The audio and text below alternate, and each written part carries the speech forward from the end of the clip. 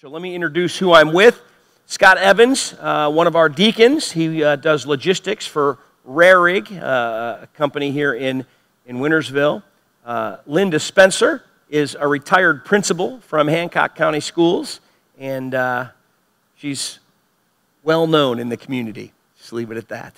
Uh, Pete Brogdon, one of our deacons, also works for the city of Weirton, um, and his wife, Alicia Brogdon who is an employee at Kroger and Company. So all of these uh, people are very active members here at Crossroads, and um, this is a difficult topic uh, based on what's going on in the world. And in case no one noticed, all of you are black. You come to Crossroads. So, um, the reason that I, I, gathered this group together is, is twofold. Um, you know, Crossroads is a church that has, uh, I was telling Linda, I counted 22 uh, black regular attendees. Um, that's 25 if you do preacher math. Um, so, and, and, but then we have several other minority families too. So that's, that's not a huge number by percentage, but it's enough that it, it's noticeable. Um, and I think the problem that we have is that uh, this issue isn't talked about. And I think it's not talked about for two reasons, both of which I'm hoping we can, we can put a dent in uh, with speaking out. The first is that I think there's people who are racist. And if that's true, I'm hoping that our conversation will convict them. I, I hope that uh, my testimony and my involvement will be something that will be a conviction to them. Um, but the other thing I think is, is um, that people just don't know what to think or don't know what to say, or, or, and they just need information. And they need to see how brothers and sisters in Christ um, what, you, what you guys are dealing with that they might not really understand, they might not have experienced, and really hear from your heart, from, from brothers and sisters in Christ that we trust um, and we know, um, and we feel like we have things in common with, uh, kind of what your experience is. And so I think, um, you know, the way to start would be maybe for each of you um, just to, you know, whether it's in the church or in the world, just share a little bit about kind of how this issue of racism has affected you. Well, thank you. Um, well, I've experienced personally racism several times in my life. Um, you know, growing up in suburban Pittsburgh, I grew up around a lot of white people. There weren't too many black people. Um, in my graduating class of high school, there was only three black people. So I grew up around a lot of white people, had a lot of white friends always very comfortable around white people, and I didn't realize how bad racism was for a long time in my life. Um, but one time in high school, um, I was probably ninth or 10th grade at the time. Uh, one of the teachers uh, during a study hall session um, had an issue with another student, a friend of mine who was sitting next to me. And this is a, a, a white friend of mine. And uh, the teacher came up to him and was berating him pretty bad. And I, I remember just looking there like, wow, this is, this is bad. And I said that. I was like, I said wow out loud. And he turned to me and said, I don't need any of that N word attitude in my class. Well, needless to say, that person was terminated um, once everyone found out. Uh, but I couldn't believe that. It was the first time that had happened to me face to face. I knew it was probably overt uh, at times, but to be like that direct was uh, astonishing. And then uh, later in life, uh, when I was in my early 20s, I had a situation with uh, a girl I was dating at the time. Her dad, it was she was white, and her dad. Um, had nasty things to say about me. He came straight to my face and said, I don't want you dating my girl, I mean my daughter, you're not good enough. I didn't think anything of it at first. Um, and I asked him, I said, why am I not good enough? He's like, well, look at you. And I kind of said, all right, I get it, I understand. And then a time more recently, just five, maybe five years ago, I was at a dry cleaner, uh, wanted to get a suit dry cleaned, and the gentleman wouldn't wait on me. He just stared at me. And at first, I thought maybe he's busy, maybe something's going. I tried to give everyone the benefit of the doubt, but I kind of had a hunch. Then many other customers walked in, many other customers, six or seven other customers, female, male, all white. They all got served. I never got served. And he said, What is it going to take for you to leave? Don't you get it? And I just said, You have a good day, sir. And See, well, that, oh, that's something that I, I couldn't relate to. I mean, I just uh, realistically, you, you tell the story, and I'm, and I'm thinking how I would feel, but I, I, I've never, I mean, I've had people refuse me service because I've acted like an idiot, you know, but I mean, just, I, that, that's, and, and that was five years ago. I mean, that's since you've been in this church. yes, yeah. And and we tell people go out and witness and go out and, and you know and and then you go out and that happens. You know, did you invite him to church? No, I'm just kidding. No, I, So- but I was polite to him. I said, I did, I, you know, I was boiling mad inside, Absolutely. but I said, you have a good day, sir. You know, I didn't want to give him any ammunition that, Yeah. you know. Linda, what? I was just going to say, if, if you would have. Mike. Oh, I'm sorry. you're- I was just going to say that if you had seen when he was talking about not being waited on, you could look at all of our faces and see that we've also experienced that. Yeah. You know, more than one time. So it wasn't, it wasn't a surprise. But I guess when you're not accustomed to it and uh, you think, I, I was actually thinking I wish I'd have been there with you. We'd have, we'd have made a scene together. could have made a scene. So. Okay, well, um, I've had a lot of experiences, um, a lot of experiences. Uh, and when I first started in education, I started off as a teacher. And I came to Weirton, I wasn't from Weirton, but I came to Weirton as a teacher. And um, when I first applied for the job, as a teaching job, um, they said, the Board of Education told me that I would be hired, but they wanted me to work at uh, Cove Elementary School, which is the school where the blacks went. Well, there was a gentleman on the school board who didn't want me there. He wanted me to go to another elementary school, and he was a white gentleman. And he didn't, he, he thought that I shouldn't be, or every black teacher should not be in the black school. And they had a big, there was a big ordeal about it. I didn't know what was going on. I didn't, I was new to the area. So I just basically waited and went where they told me to go, which was the black school. That's where I ended up at. I didn't even, I didn't realize until later that there was a stigma to the black school because the students were, students were excellent. I mean, we had, we had such a good school. And um, even as I watched the students leave that school and go on to high school, and I would look at the valedictorians, and they came from the school that, that I taught from, and I was really proud of that. But that was just, that was just beginning, and I really didn't know what to expect. And so I taught for a while, and then I got my, um, I got, the first master's degree was in counseling, because I really wanted to be a counselor at the high school. And um, then I was told that once you're a counselor, you don't leave, you know, you just kind of die in that position. um, but I I went from teaching elementary school to teaching the middle school. And I was a teacher at the middle school, and they did have a counselor there. Well, the counselor, I heard that the counselor was leaving and going to the high school. So I went to the principal and I said, that's the job I'd like to have. And he basically said, okay, you know, you, you can do that. Well, as I didn't hear anything during the summer, and I called the principal, and he said, Well, the counselor from the high school is just coming to the middle school, and we're just going to exchange so that we don't need you. So I said, Okay, here we go. so that was one experience at, at the middle school. And I also noticed from elementary all the way to middle school, the students were treated differently. It seemed that the teachers were afraid, especially of the black male students. I mean, we're talking kids, we're not talking um, like they weren't even teenagers at the time. And we were in elementary school and the middle school, and I would uh, constantly see the black guys out in the hall, or they would put them out of class, or they would send them to the principal's office for something that was just so minor that I saw every day that other students did, but they didn't get reprimanded and whatever. And I just noticed um, just how they were treated differently, and it, and it did, it bothered me. Um, I have a son, and so I made sure that I was there at every conference, at uh, every time there was a meeting at the schools, I made sure that I was there. I was even asked, why are you here? you know, I'm here to make sure that my son is doing well and whatever, but they seem to think that I shouldn't be there. Uh, so there was a lot, and even as far as um, I went into, I didn't get a counseling job, so I went into administration.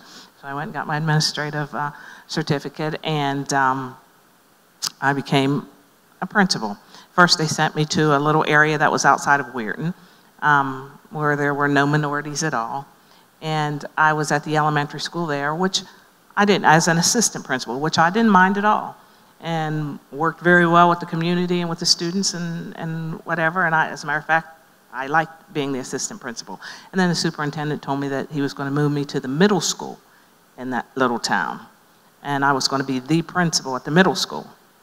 Well, I told him really that I didn't want to go, but he said I didn't have much of a choice, so that's where I was going. So I went to the middle school, which was really the year from hell for me.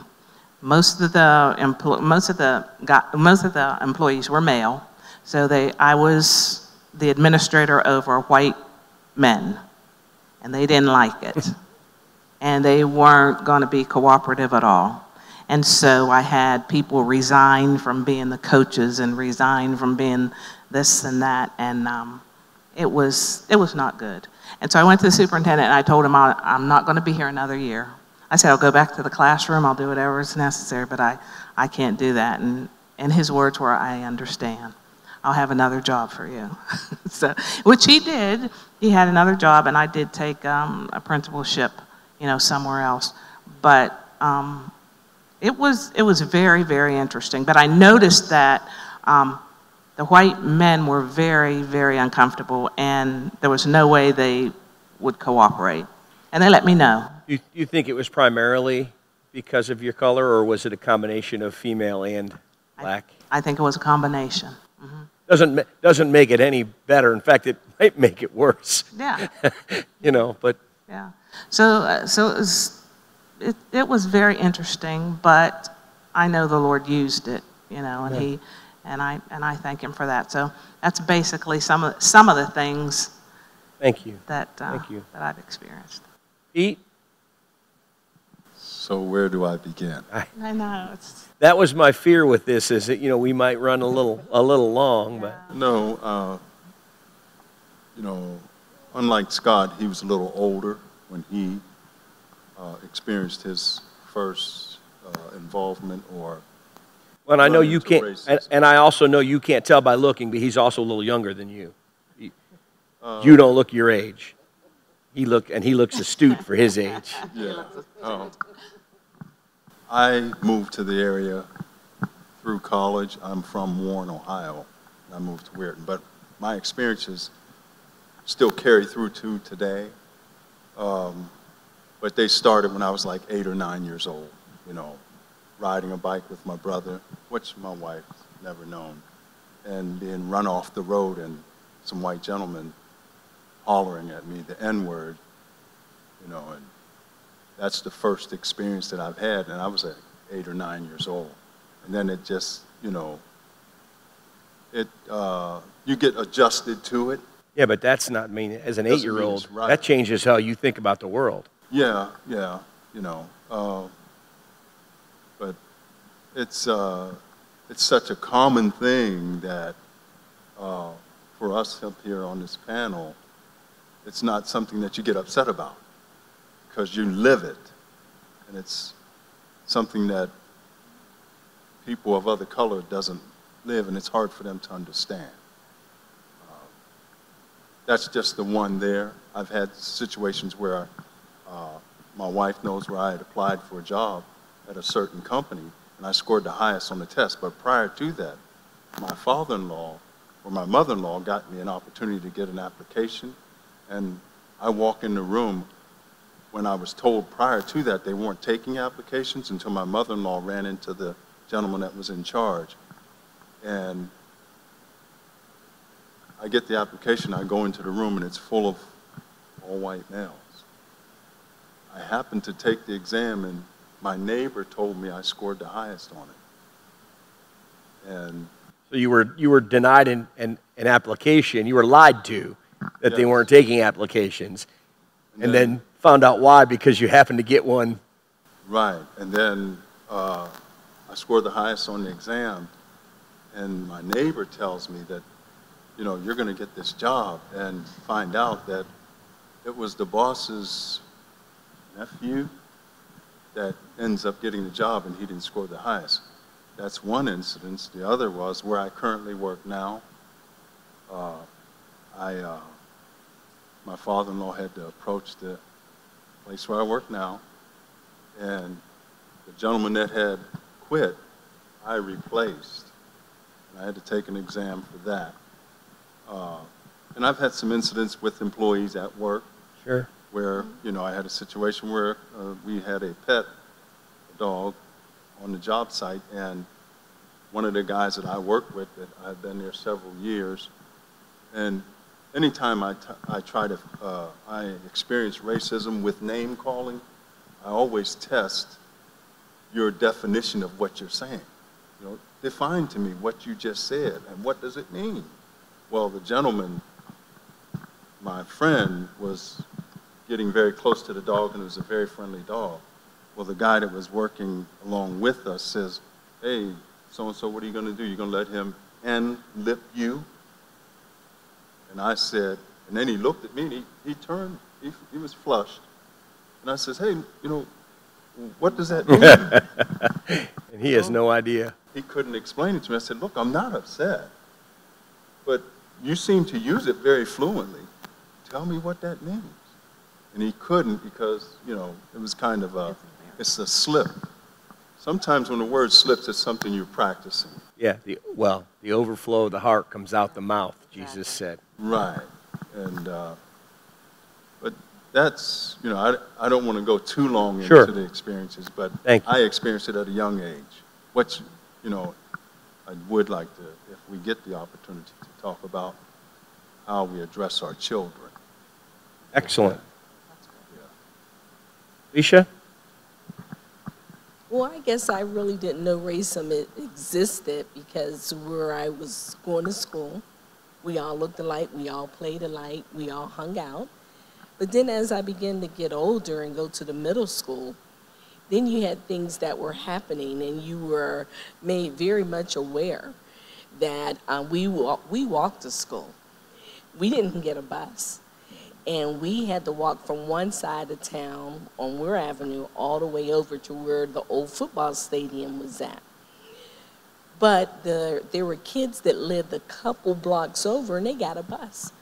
So our parents got together and rented a P&W bus, and that's how we got to school. Okay? If they didn't in the winter, we had to walk or someone had to take it. And I was very fortunate because my parents had cars. A lot of my friends, their parents didn't have cars. So my dad worked, my mom worked. So we had more than my friends did. In the summer, we really didn't have a P&W bus, so we ended up walking. Sure. And at the time, it was a GC Murphy's that was right on Main Street. And if we would go in, they would say 1B, 2B, 5Bs, and they would follow us around. So that's when we were really faced with racism because we always stayed together. Junior high is when it really happened. And then it started getting worse when you went to try out for basketball or volleyball or cheering. Uh, you could do whatever those girls could do, but do it even better. And you never made the team. So why in the world would we even go and try to try out? Sure. You know, then upon getting a job, I got a job only because my cousin had quit and got a job in the Weirton Steel. And they only, at the establishment I worked, they only kept one B downtown. That's it. They could hire 50 Caucasians, but they would never hire a black. They have one. So I went, I got the job. I was so happy. I came home, I told my parents, you know, I got a job, my first job. You know, I really got it. It was the job that was from hell. Um, you did everything that they didn't want to do. Um, they treated you nasty. I know my manager one time, he was going to fire me. I had a lady that went to the church. And I worked every Sunday, and at that time, we closed at 7 o'clock. every Sunday I worked, and we closed at 7 o'clock, and church was right over here. I had a lady went to church, and she came in, and she looked at me, and she was very nasty. And she spit on me, and I said to her, "Didn't you just come from church?" She said, "Yeah." I said, "Well, evidently you didn't learn nothing. You need to go back." well, she called my manager. He came to me and he told me I was there to do my job and shut my mouth, and he didn't care what anyone told me or said to me. I was to shut my mouth and do my job. Well, that did not rest very well with me at No. all. Nor should it. Huh? Nor should it. But the people that I work with, being the only black there, they saw nothing wrong with it. And here I was a young girl, Yeah. you know, so you can't, um, they only allow you to do what they want you to do. And anytime, and I guess all of us can say that, anytime you want to do something that's going to better yourself or better the next person that they hire, no, it can't happen that way. Well, and here's here's why I think part of this conversation just starting is so important.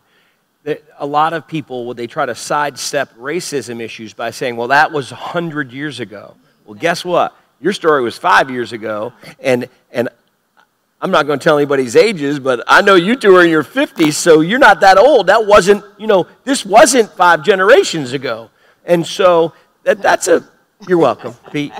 So that that's a that's a big deal. I mean, it, it, it's not, um, and even though that wasn't yesterday, five years ago, I mean, this is still going on, Oh, it's still. and and um, it's important, I think, that that we that that people who are white understand that it's still going on, even if they're they might, you know, obviously people look in the mirror and say, well, I don't, I wouldn't talk to you that way, I wouldn't spit on you, but but the fact that somebody still would means that that, that you know, um, if one person is discriminated against, we all suffer. Well, Jeff, can I say this? I have had someone spit on me within the last four years. And my comment to the lady is when she spit on me, and then she made a, a comment that she was so glad that I was going to be sent back to Africa. And I said, Africa? Yeah. I've never been to Africa. I said, Are you going to Oh boy, you can't. And she said, What? I'd like I to said, go the first you-" time. Yeah, I said, I guess you and I are going to be on the same plane. I've never been to Africa. But I was a smart aleck, but I wasn't. Yeah, You know a- what I mean? So, But but how else can you? I mean, when you when you're in a situation like that, if you don't react sarcastically, I mean, I'm going to get angry. I was going to say I I know some people who the conversation would have been different. You know, white, black, or any other color, they'd have gone over the counter and had their way with them. So But then there are, s- I was going to say, there are so, there are other white, white people who would never do anything like that. sure, absolutely. But also, there are those who would never do it, but they won't confront the ones who do. And that's the problem. And And, that's that's, the the, problem that we, we need to discuss. I think So- another thing is you just don't know sometimes. Like people say that, like, well, I wouldn't do that, or I wouldn't do that, or this person wouldn't do that. But you don't expect, like in my case, to walk into a dry cleaner ever and be denied service. Amen. You know, you, Right. don't, you don't know who it's going to be. Well, I, I think one of the things that's important is that, you know, each person kind of has a chance to, to um, speak on their own. And so as we were talking, I was taking some, some notes, and I kind of want to ask you individual questions. So um, I, want to begin with you, Scott, you know, as a deacon and probably the person who commented the most about theological issues as we were talking earlier. Um, I, I kind of was hoping you would give us um, maybe kind of what God's been laying on your heart as the Christian perspective uh, about racism and how, how we deal with racism. Sure. Um, you know, I, when situations arise like we've seen our communities in in recent weeks, I turn to Scripture. Uh, I've been burying myself in Scripture in recent weeks, and I've done it over the years when issues come up. And uh, I've noticed how much Jesus didn't come out and explicitly talk about race, but yet it was he did do things that, if you pay attention, address it. Uh, I spoke earlier about the uh, woman at the well. Uh, I think Jesus was setting a very clear message there that we are God's children first. Uh, and if we are God's children first, that means we are all brothers and sisters. Yeah, and when you read that scripture, the shock of the apostles, um, whether it's because she's a woman or a Samaritan, I, I always think it's both. Yes. But, but the shock is, is Yes. impressive. That he And, and her that. shock also, because she says, But you're a Jew. Right. Yeah. And, and he doesn't even address that at first. He addresses it later on in that scripture. Um, but he's more concerned about the healing than anything else at that moment. Amen. He's, he's loving. If there's anything that I think that we get from Scripture, it's, it's the love. Um, I mentioned earlier that it's the, the baseline through which we are supposed to hold ourselves accountable. And uh, when, I, when I view racism, I view it as a heart issue. I view, I view it as an issue that just shows how much more loving we need to do. And, you know, God, let me back up. What, I see people turning to as a solution all the time is something social, something political. And though th- those things do have a place, it has to have the proper foundation, and the proper foundation is Christ. Amen. God created the church to lead the culture, but we tend to be more concerned about the White House, where God is more concerned about the church house. Amen. And the church house has to lead. If the church house does not lead, there is no hope for racism to ever be addressed properly. Um, and so the, the church house has to lead. Um, do we engage in politics? Yes. But we have to do so with a, coming from a place of love and compassion first. Our politics have to be set aside and, and love for our brothers and sisters has to be priority. Um, that, that's the first thing. The second thing, uh, theologically speaking, is uh, we must remember that oneness is our purpose. You know, uh, I think we were speaking off camera that uh, we're all wearing the same uniform here, and and we are the common purpose that we have is Christ. And that has to be at the center point of all of our minds. It has to be a, both the, the cornerstone and the capstone of, by which we operate. Amen. And, and if we don't do that, again, we will fail. Uh, I strongly believe that the way forward is through the Great Commission. Uh, if we have, or if we are united around one worldview, see this, this is this is where, I, you know, speaking of the Great Commission, this is where I think we've failed in many areas as the church. We there's three verbs in the Great Commission. There's go, there's baptize them, and teach them all that I've commanded you. We stop at the baptism part. We get them to church, and we stop discipling them. We stop discipling people. We stop teaching them. We don't do a good enough job, teaching them, and so their worldview never changes. They're going to heaven, but they're not making a difference in the Well, world. yeah, we, we teach them about the Bible, but discipling means teaching them how to live like Yes. Christ, not just know what Christ said. Exactly. Amen. Amen. and and that's what we need to do a better job of. And and you know, I you know, you had mentioned in the introduction to this question about you know, I've I've spoken a lot about theology. That's how God made me. I believe I, it's my passion, but also I strongly believe that that is the answer. That Christ is the answer. Love is the answer, and you know, the the greatest civil rights leader of our time was a was a pastor. Amen. And you know, early in early, early in this in the, the anti-slavery movement, it was all Christians. It was Quakers. The, the, the white people that were that managing the Underground Railroad, they were they were Christians. They were Quakers. They were pe- you know people of faith. Yes. And we have to understand that the, um, the early church in America was complicit in the slave trade. And it'll be up to the church to repent of that and lead to correct Amen. that. Amen. Uh, you know, if God is your problem, then only God is your answer. And God is our problem in this because we have turned from God in this area. And, and unless we turn back to God and seek healing through Him, there's no hope to, to Amen. fix this. Yeah, Psalm 33 is a beautiful scripture about uh, the unity uh, among brothers and sisters in Christ. And it talks about that, it's got that beautiful metaphor of the, the uh, oil flowing down onto Aaron's beard and how, how calming that is. And the, the thing is, is that scripture says when people are unified, that's when God works. And so it's a, a wonderful commentary on how unity and the, the justice that draws people together and puts people together gives God this, this platform to work. So it's a beautiful picture. Scott, thank you. Thank you very much.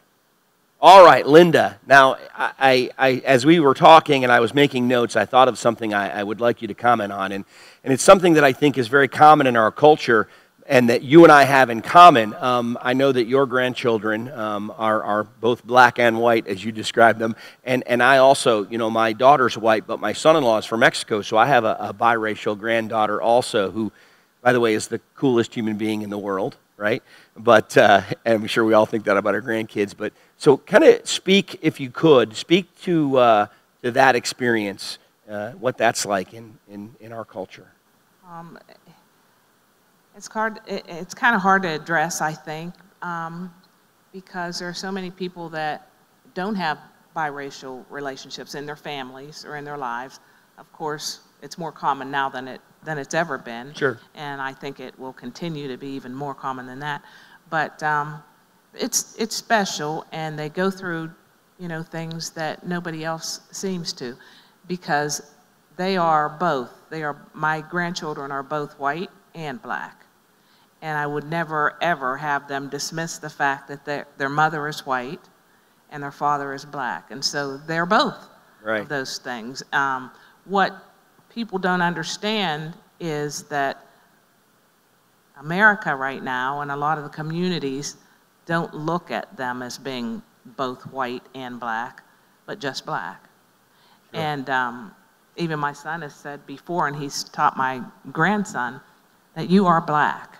My daughter in law gets really upset with that and says he's not just black, he's white and black. And then my son says, but when he's out in society and he walks into a place, he's black. Yeah. And they're going to treat him as if he's black.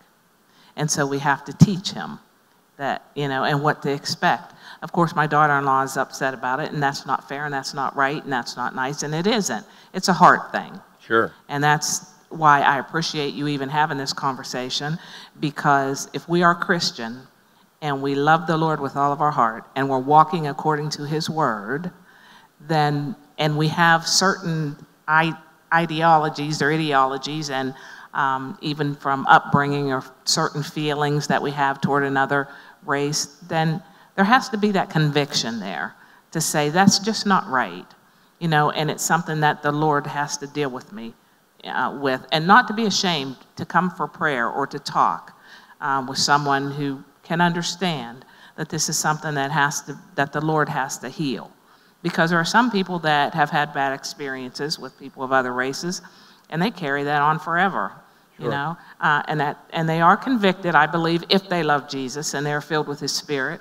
There's no way that you can't be convicted Amen. you know and so just to understand that and then when you have um, biracial grandchildren and that's your heart they are your heart and you know what it is, Amen. how it is um, and when they come home and they're hurt then you hurt and how do you explain the love of jesus you know to a child who doesn't understand why they're treated differently and the worst would be how do you explain the love of jesus when they're hurt by somebody in the church Amen. you know, who, so it's something that everybody has to begin now to um, just kind of watch and listen and be there and speak speak up when something needs to be said.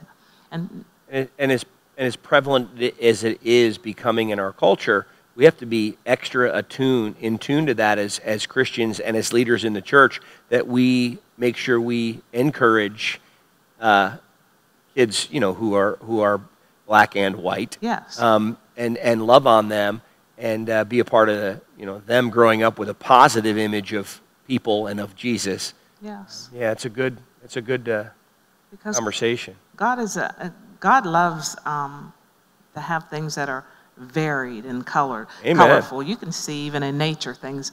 All, there, I mean, he, his creation is just awesome. You know, and you wouldn't say that um, a red rose is any less valuable than a yellow one or a white Right. one. They're all beautiful. You know, and that's he created us. Well, the We varied ones are more beautiful. Yeah. You know, we are his creation.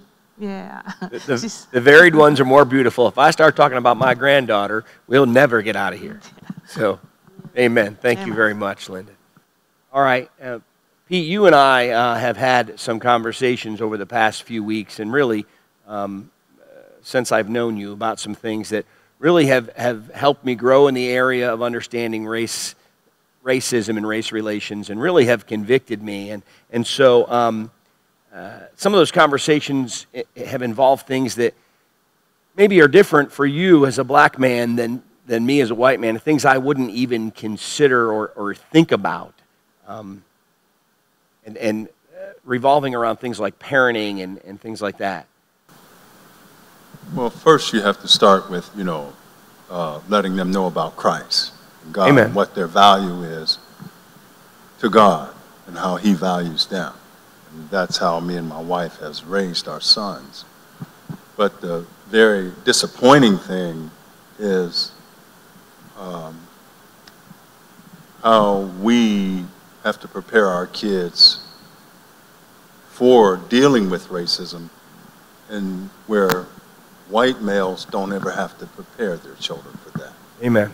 Or you're caught off guard when your child comes home and says, Dad, am I bad because I'm dirty? And the authorities didn't address that when kids are saying that to him. Well, I know he's not physically dirty.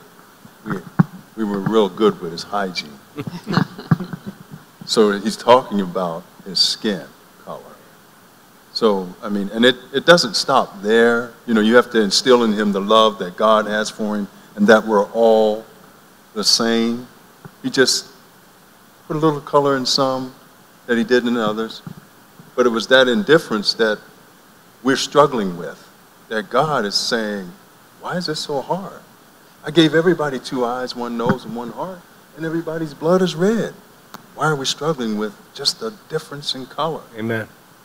Uh, it, and it goes from there all the way up to where they're adults, and we still are concerned about the racism that your children's facing Amen.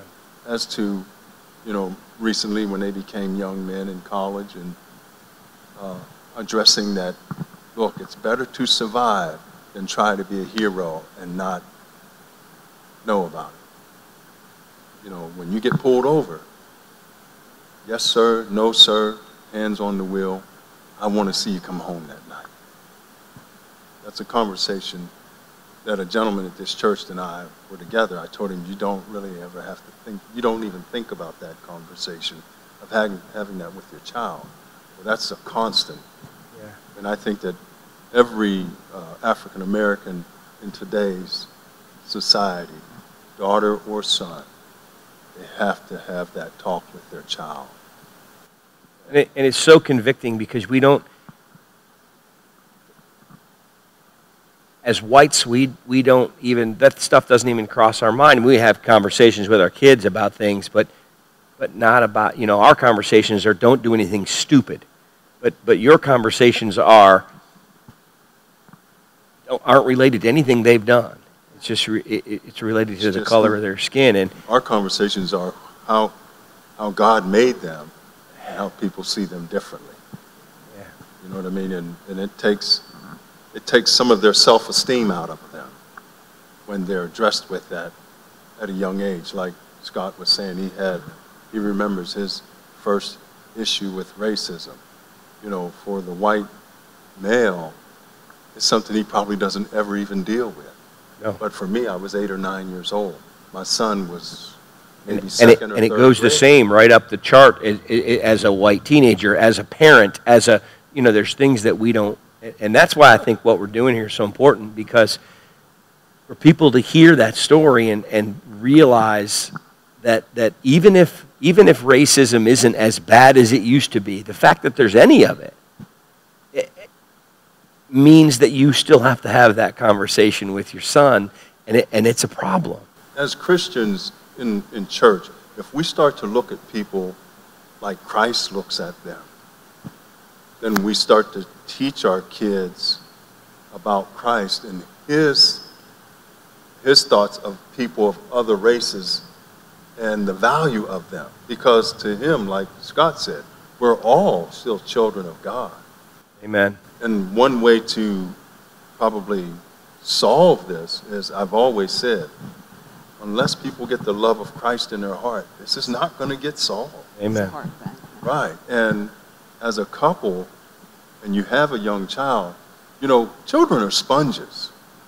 You know, you can be in church and having your Sunday's best, but when you go home and you say something that's out of order, that child is soaking that up. up. Amen. And guess what he does when he gets to his buddy? Yep. He That's shares the same it. age. He shares And that's where it's taught. Amen. All the water that he soaked up with that sponge. And then that kid brings all of that back to his parent. Amen. So, you know, and unless we have the love of Christ in our heart, we have to start teaching them better about race. Sure. And don't make it taboo. Right. You know what I mean? God made us different for a reason. Celebrating. Like, like So- Linda said about the different colors. You know, you were, you were talking about flowers. What about the rainbow? Yeah. And how that blends in in all those colors. Um, and, and, and who, who, who among them, we look at the sunset and the sunrise, and the more colors, the better. So now, just I want to, before we move on to Alicia, I want to be clear. Both the deacons said the love of Christ is the solution. Just, I'm just throwing that. I love my church. I'm just throwing that out there. A little shameless plug for, you know, if you don't have a church, come to Crossroads. All But right. that, that's basically it. You know, Amen. it's, it's, uh, Thank you, it's a challenge that, you know, as black males with uh, sons or daughters, it's, you uh, be prepared to uh, face that challenge. Thank you. All right. Last but certainly not least, Alicia, I have a question for you, and I want to tell you, um, it's probably the most difficult question that I'm going to ask anyone because um, I think it's really important to get at the heart of the matter uh, that we talk about what goes on here at Crossroads. And as a greeter and, and someone with your personality who you know is, is going to see everybody and talk to everybody, um, you probably have experienced racism um, right here in your own church. And I know that that's difficult, and you know, please no names, but but um, share that with us. How, what what have you experienced right here at Crossroads that has uh, hurt you in terms of racism? Well, Jeff, can I tell you what side of the church they sit and how far out? No, you cannot. Well, um, yes, I, yes, I have experienced it, but you have to overlook it. And the way I've over, overlooked it was the spew love on them. Every time I see him, I would run to the door and touch him and say, Good morning. I'm so glad you're here. And I would laugh and just, and they would see me coming and they couldn't move quick enough to get away from me. So Praise it just let them know that I'm not going anywhere. And so you need to adjust to me. In the beginning, it was kind of hard because not being a greeter and walking in where someone might have opened the door, and Peter and I came up and they didn't open the door for us. I thought, oh, and do we want to go to church here? And Peter was like, oh, yeah, we'll come. Give it another shot. Thanks, Well, Pete. a couple more things happened and I said to Peter, I said, Peter, I said, I, you know, I don't know, I'm not feeling this. And he said, oh, Lise, he said, but just, just wait, give it, just give it a little bit, give it a little bit. And we would go home and I, he'd just be talking. I said, you know what, Pete, I, I'm not feeling it. I'm just not feeling it. And Jeff, you would get up and you would say things. And one Sunday, you had said something and I sent you a text and I said, thank you very much. And you said, It wasn't me. It was the Holy Spirit. It wasn't me. It wasn't me. Because what you said let me know then that this is where I needed to be. Amen. And I needed to be here for whatever reason God needed me to be here. And that was to spread love. Okay, I remember there was an artist, and he said, If this world was all blind, we could never see color. We would only see the heart just by feeling it. So I'm here because I feel the heart of Christ, and it beats inside of me every Sunday that I come. So if you don't want to be bothered, and you happen to see me, go out the door and go in the other door so you don't have to come to us. No, I actually I'm gonna give the opposite advice. If you're struggling in this area, Yep. you're the friend they need. You're the friend they need, I, and I appreciate I appreciate the fact that it's something that you guys are willing to to um, deal with head on. Because if if if someone isn't bold enough to, to speak out, um, it won't get fixed. And and you know, as segregated as Sunday morning is someone has to cross that line in order for things to get better. And, and um, you know, I, I know we're not perfect. Um, but my mentor told me once the best thing about the church is it's made up of people. And the worst thing about the church is it's made up of people. And black church, white church, Chinese church, Korean church, you're going to have people issues. And one of those is racism. And if we're not purposeful about, you know, stopping it or speaking out against it, it's not going to change. And so I really I appreciate your hearts and I appreciate your efforts uh, being here. Can I interject one? Yes. thing? This will be the last thing. There was a person here, and every Sunday I would speak to that person. Every Sunday, every Sunday, regardless if I was a greeter or not, I waited until I saw them sit in their chair, and I would speak to that person. And one Sunday, this person looked at me and he said, You know, I come in here, and I've been coming to this church for a long time, and you are the only person that makes me feel welcome. If that didn't change my heart about the people that are here, nothing would have Amen. changed it. And he, the person has been coming here way before I ever started coming. That is sad. What is so different about him Yeah. that you would walk past him Amen. and not even recognize him. Amen. I was also going to say, too, that um, when I first started coming here, I, I talked to your wife. I asked her if she would just meet me and talk with me, and she did. And um, her advice was to get in small group. You get in small group and you get to know people. And I began to come to the Bible study, the ladies' Bible study, and um, maybe work with Upward behind the concession stand. And I got to actually know people, and they actually got to know me. Sure. And I think it made a world of difference because they don't just see me as the one as a black lady that comes and sits in the church. They know who I am. Yeah, and sometimes those dynamics, like what you talked about with that gentleman, they're not black or white or old or young. They're, they're, they're big and small.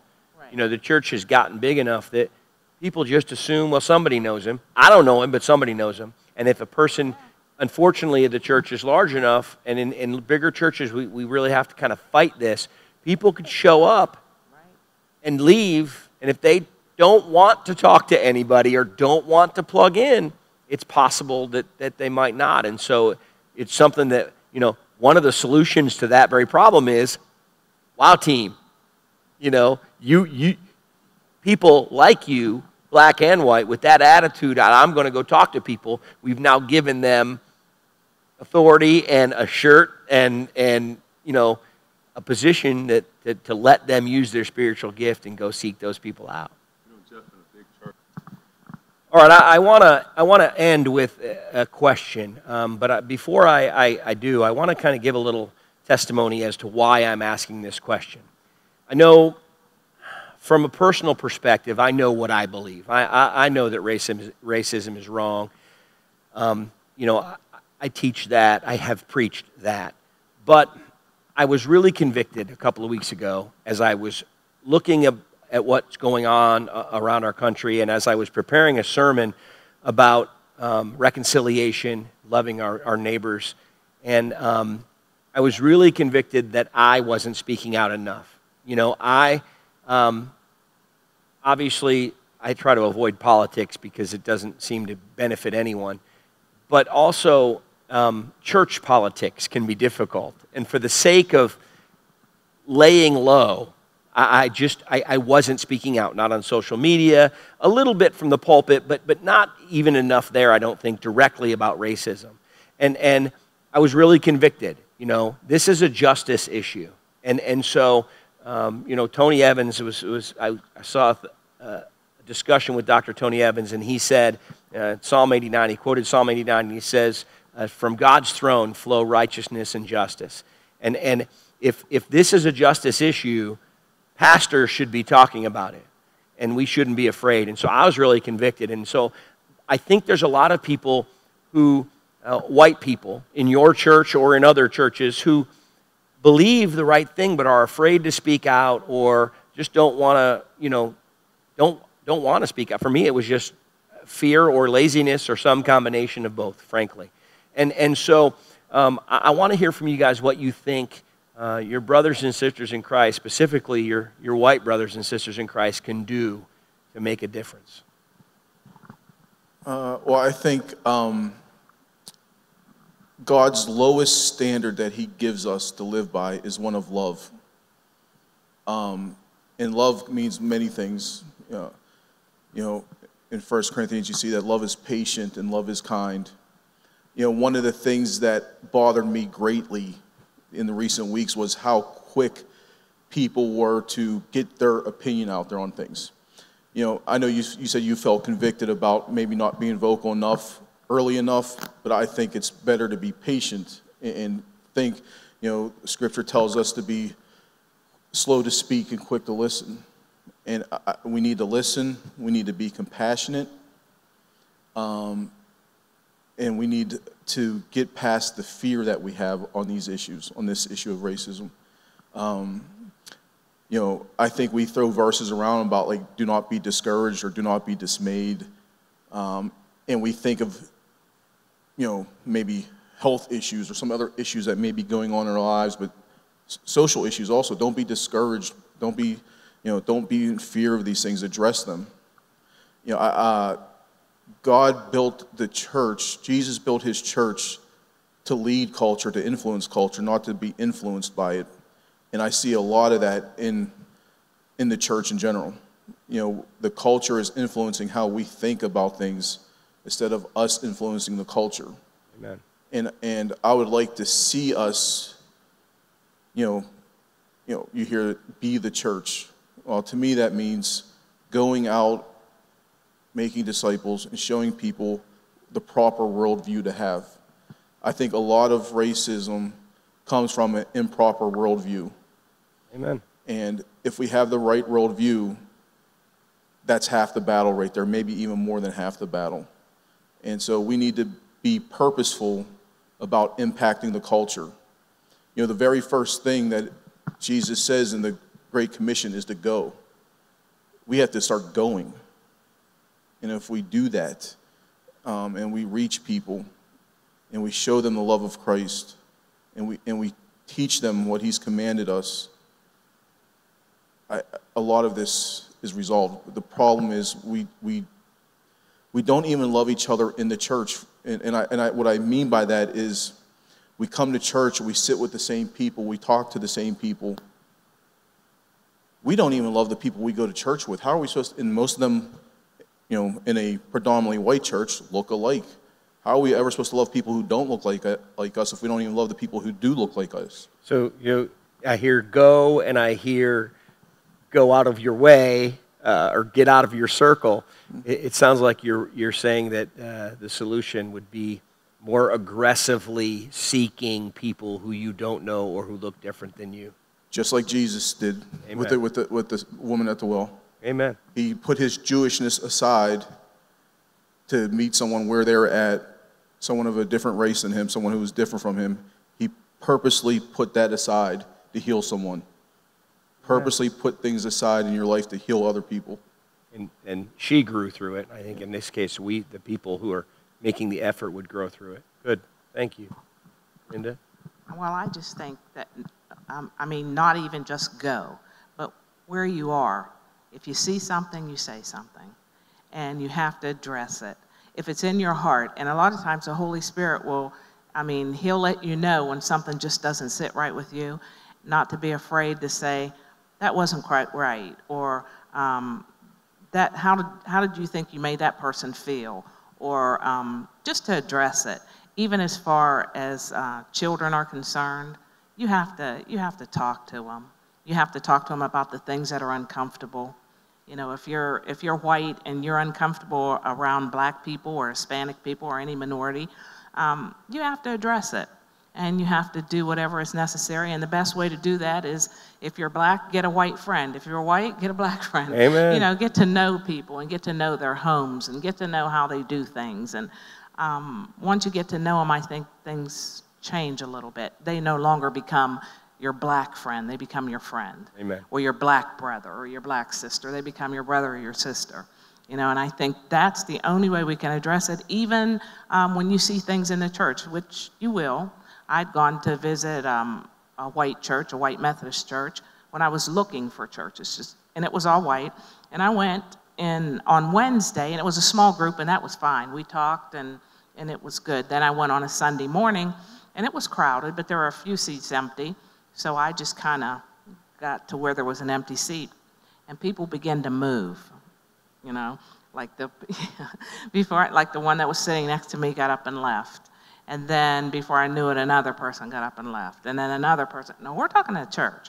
And another person got up and left. And I'm sitting here thinking, okay, I'm the only one on this pew because everybody's gotten up to leave, right?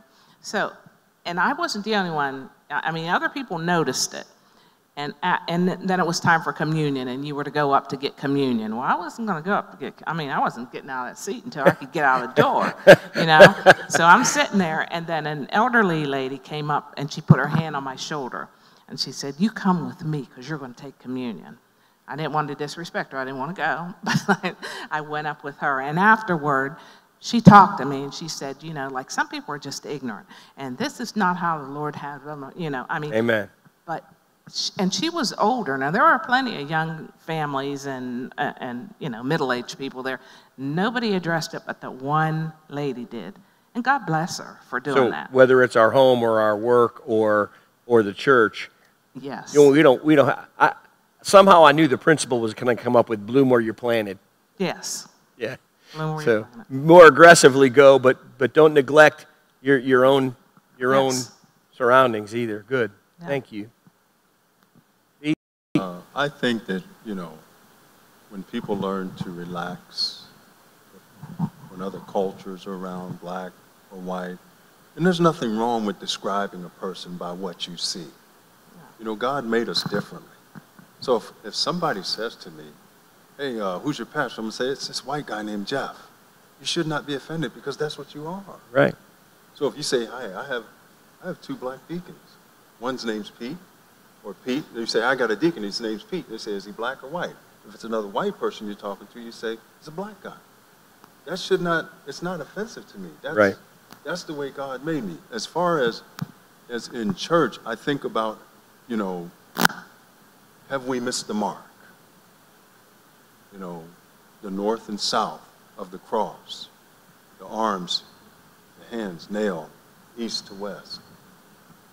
Horizontal is just as important as the vertical. Amen.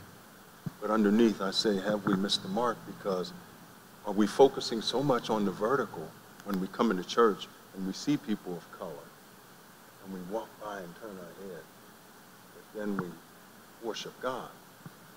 Then I also think when I say, have we missed the mark, is because he does say, what you have done to the least of these, you've done it unto me. And we are a part, of, all of us are a part of God's image Amen.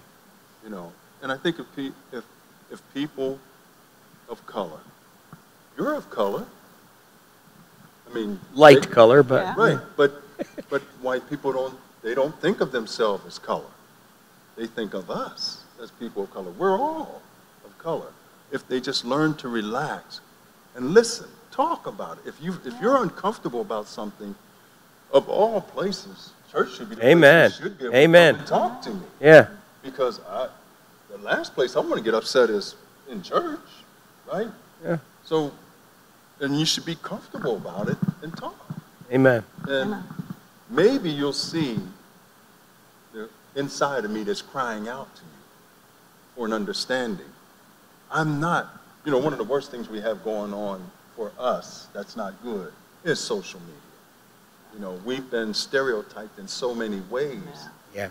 that, you know, when you get to church and if it's a predominantly white or predominantly black church, and believe me, it can happen at a black church. I mean, the last mm-hmm. church we went to had white members there, and I felt kind of bad because there were some of us that were not approaching her. You know what I mean? Sure. And, and you know, so she, you, you can imagine what she felt.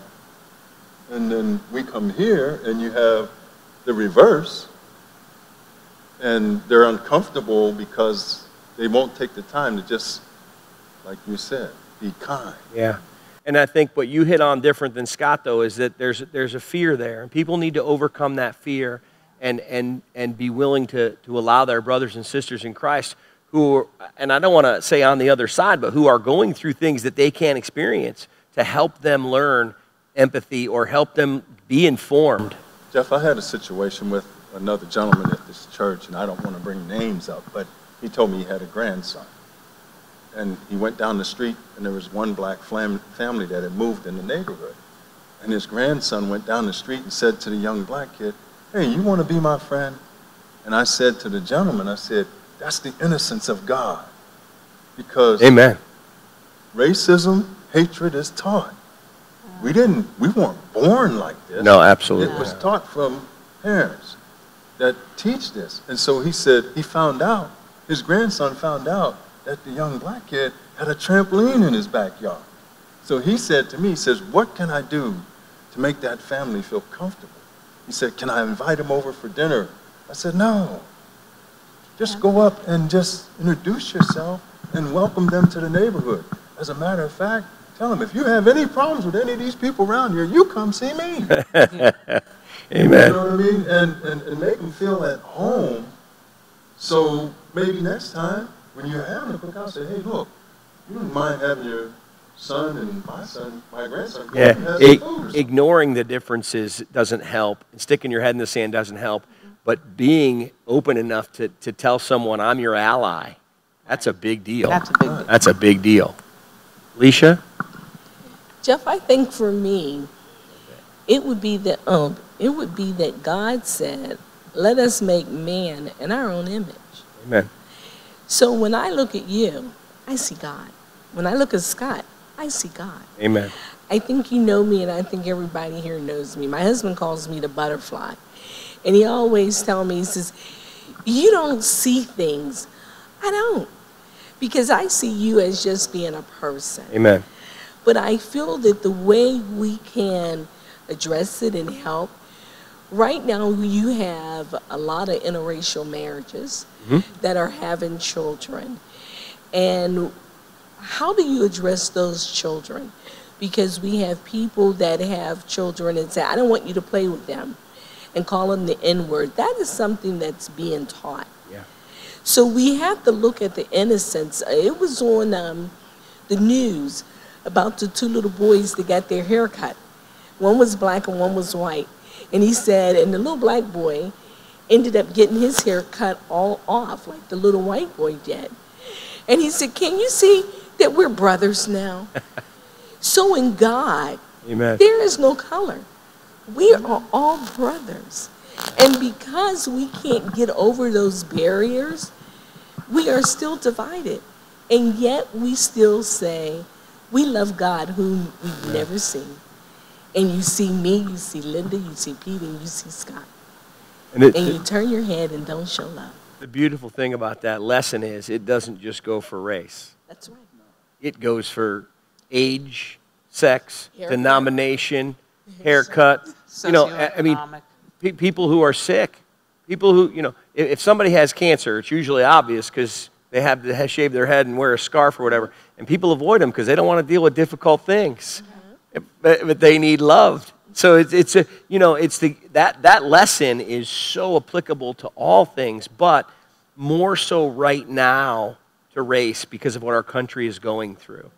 And that's the thing that, you know, I'll finish with this idea. I, I've seen um, people say black, you know, when people say Black Lives Matter, and people will say, um, well, all lives matter. and, and what I was sharing with Pete the other day, what he shared with me was, and I, I'm, a, I'm quoting Pete, just so you know, uh, and I loved it. I've used it like 10 times since you told this to me. Um, I think that's just people deflecting. They don't want to deal with it. And, and of course, all lives matter. That goes without saying. You better hope when your house is on fire, the, the fire truck doesn't pull up at the end of the street and say, I'll get to your house in a minute, because all houses matter. I got to check this house before I come to yours. Right. You know, they go to a house that's on fire. And right now, racism has come to the surface, the, the bu- bubble to the surface, and it's a real problem. And there really is systemic racism in our country. Maybe not in some of the ways that people assume there is, but there definitely is. And so, um, black lives are the ones that are in crisis and they're the ones we're focusing on at the moment. And so, um, you know, if you're one of those people that's putting up there, all lives matter, stop. Um, you know, it, it's just, it's, it's not an appropriate response to Black Lives Matter. Um, uh, what you, what you, appropriate response would be yes. Yes. Yes, they do. So uh, I, I just I want to thank you guys for um, being here and for um, being open and honest. I, I hope that it helps uh, some of your brothers and sisters in Christ. And you know, I, I, I honest when I opened, I said I, I want people to have information, but I want people to be convicted too. And and um, you know, uh, thank you for being willing to to help be a part of the solution. So, if you would, I'd like to pray us out of here, and uh, then we'll be done. Lord. I thank you for my brothers and sisters in Christ. Uh, I thank you for their leadership, Lord, uh, not only here in the church with a couple of deacons, and, uh, but Lord, in, in, their homes, in the community. Uh, I know that each person here are the kind of people that I've witnessed love and serve and uh, be involved in other people's lives. And Lord, I just praise you for their faith and their friendship, and Father, their openness and honesty to today as we try to just bring awareness, Lord um, and help people grow through what has become um, come, be, come to the forefront in our country, but Lord has been going on as long as time. And, and Lord, it's wrong. Uh, injustice in any form is bad, but racism in particular. So Lord, help us to be a part of the solution. And uh, we'll just praise you, Lord. We know it'll draw people to you because justice and righteousness always flow from your throne. We love you and we praise you in Jesus' name. Amen.